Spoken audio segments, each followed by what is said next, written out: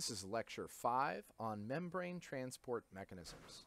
In the previous lecture, we covered diffusion and osmosis across an open system or a semi-permeable membrane. However, if the molecule is not permeable to the membrane, there has to be a transport protein that permits passage. This would be a general doorway or opening in the cell that would allow things to move in.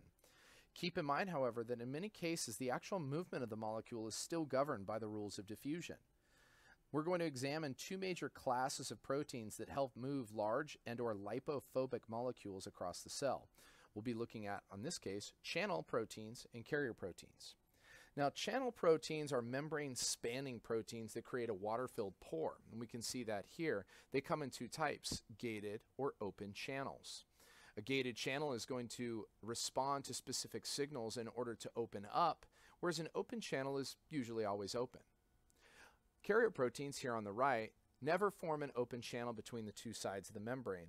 They can be integral or peripheral, and they change shape in order to move molecules across a given membrane. They come in three major types, a uniporter, a symporter, or an antiporter. When looking at channel proteins, here we can see an example of a channel protein that is a membrane spanning or integral protein to create a water-filled pore. This allows for the movement of substance through the channel by simple diffusion, so the movement of high to low concentration, and is usually limited to smaller molecules, things like water or selected ions. An example of a channel protein in the body is an aquaporin. These are special channels that are found in the kidneys that allow for the movement of water across the membrane to help prevent dehydration. Now, how do channel proteins regulate what crosses them? There are two ways in which this happens. The first is selectivity. Selectivity is going to be the restriction of movement of molecules based on size, the charge, etc. So being a selective channel. The second is gating. As discussed earlier, the channel proteins are going to allow to be gated or open. If they are gated, the channel can actually control what goes through them in either a chemical, electrical, or mechanical gating mechanism. Carrier proteins work a little bit differently. They work as far as opening passage to one side and having a molecule come in to bind. This is called carrier mediated transport. Now, there are several types of carrier mediated transport, but all of them involve a lot of the same capacity of a molecule coming in, binding to the actual receptor site to allow the gate to open to the other side, much like how the Panama Canal works, to where a boat enters in from the Pacific Ocean into the central area through the gate.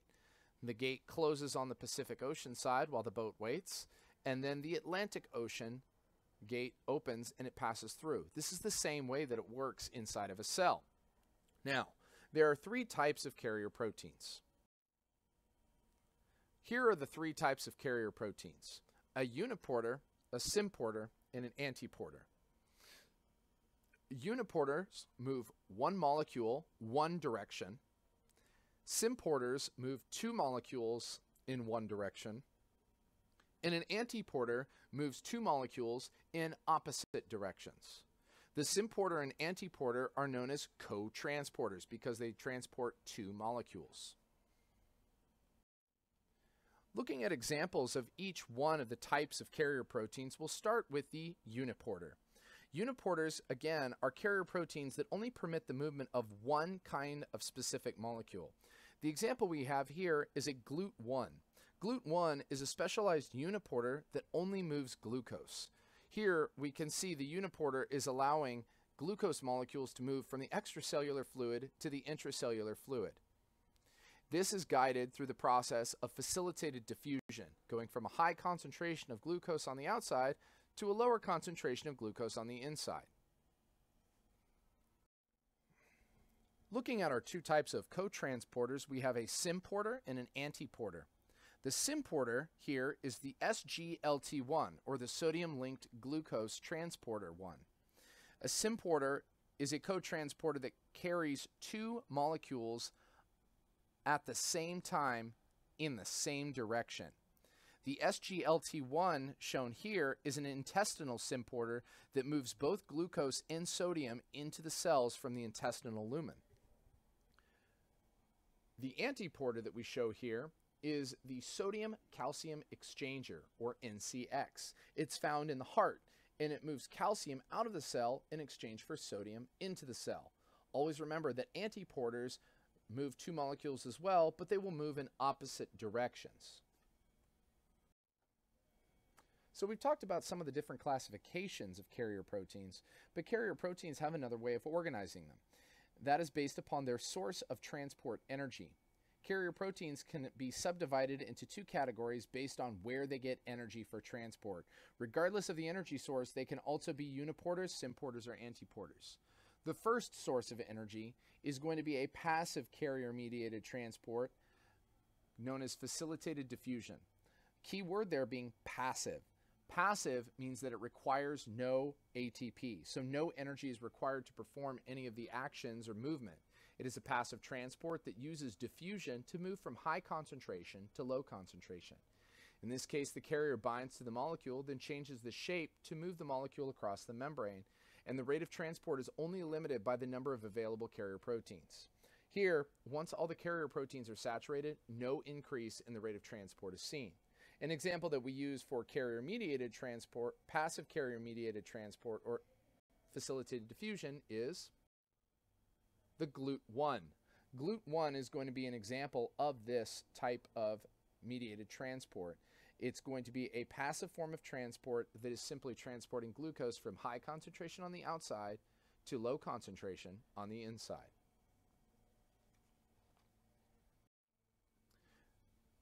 The next types of transport are active transport. The key word is active. Active means that it requires ATP or energy for the process. And this is going to generally be used for any sort of transportation of any molecule that is going against a concentration gradient. It's going to require energy. This type of transport is what is generally responsible for the existence of concentration gradients that can be used by other processes for potential energy. There are two types of active transport that are defined by where they get the energy needed for the transport. The first is primary active transport. This is going to use ATP directly. It uses the energy from ATP to pump molecules or ions across the membrane and against their concentration gradient. They're often called ATPases, as a portion of the transport protein is also an enzyme that breaks down ATP to ADP. So primary active transport always moves things independent of the concentration gradient. We have some great examples here in the sodium, potassium, calcium, and magnesium pumps that exist in the body. And these are all designed to maintain the individual gradients of these ions and a lot of membrane potential. And then, of course, we have one of the best examples of this is the sodium potassium ATPase. It exchanges three intracellular sodium ions for two extracellular potassium ions. This uses up to 40% of ATP in a resting cell. So here's an example of the sodium potassium exchange pump, primarily used in neurological function. We're moving potassium ions in and our sodium ions out. In order to activate this pump, we need ATP because both ions are going against the concentration gradient. The next type of active transport that we'll be discussing is secondary active transport. Secondary active transport also uses energy to move a molecule against its chemical gradient, but the energy comes from the movement of a molecule that is going with it down its own concentration gradient. So one is going against the gradient, the other is going with the gradient. That means that we can use this molecule that's going with the gradient to move the other molecule because there is stored and potential energy in a concentration gradient. Examples we have are the sodium and glucose transporter, SGLT1. Sodium and glucose bind together to a carrier protein. The sodium flows down its normal concentration gradient and pulls glucose with it. The cell uses ATP to pump sodium back out of the cell. So ATP is used after the fact to maintain balance. So secondary active transport we can see is the glucose molecule coming in, going from a generally low concentration on the outside to a higher concentration inside, whereas sodium is naturally going down its concentration gradient from high to low. So bringing along glucose molecules with it. Once inside the cell, the glucose will stay, whereas sodium gets pumped back out using ATP. In this case, the sodium calcium exchanger is a secondary active transport mechanism as well. These cells are not always just used independently. Oftentimes they are linked together. In this case, we can see that SGLT1 is going to be bringing sodium and glucose in. Glucose is used in the cell and brought all the way through GLUT receptors, which would be a sample of a uniporter. And then we have, of course, our sodium potassium antiporter pumps. So oftentimes, many of these types of uh, transport mechanisms are going to be used on the same cell and used to work together in many fashions. So we've been talking about membrane transport using different sorts of carrier proteins or channel proteins, so proteins embedded in the membrane. But in some cases, materials are a little bit too large to fit through those protein channels. So we need another way to move them. And we call this type of transport bulk transport, moving larger items. We have two major types of transportation that we're going to be looking at, exocytosis and endocytosis. Endocytosis is bringing things into the cell. Exocytosis is pushing things out of the cell. So exocytosis, you can see here, is the very last step as far as letting things go from the cell. You can think of the cell kind of uh, defecating or vomiting to spit that material out of the cell. And that's exocytosis. Endocytosis has three different mechanisms by which it works. The first is called receptor mediated endocytosis.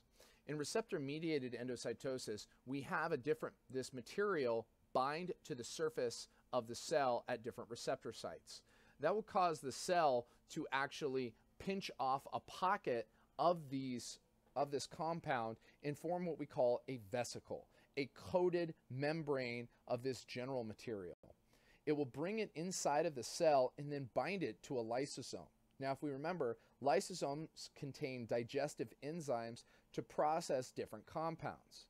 Once inside, it will digest that, whatever that compound is, and it will release different compounds into the cell and maybe have any kind of waste product that's left over.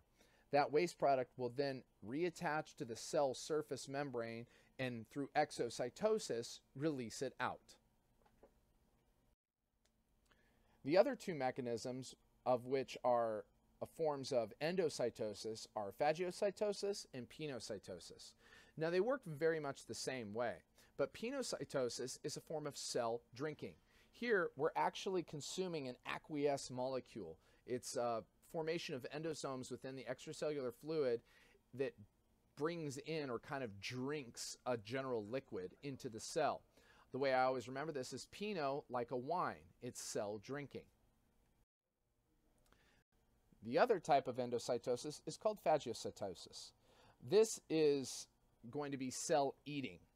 In this case, we actually are going to extend portions of the membrane around a given uh, molecule, in this case, the bacterium that's coming in, and it's going to encapsulate it in that vesicle, bring it in, break it down with the lysosome, and then eliminate through exocytosis whatever compound is left over. Some great examples of different organisms that perform phagocytosis are going to be your different uh, macrophages or neutrophils. A lot of your white blood cells perform these types of actions. So this is going to make up the finish of membrane transport.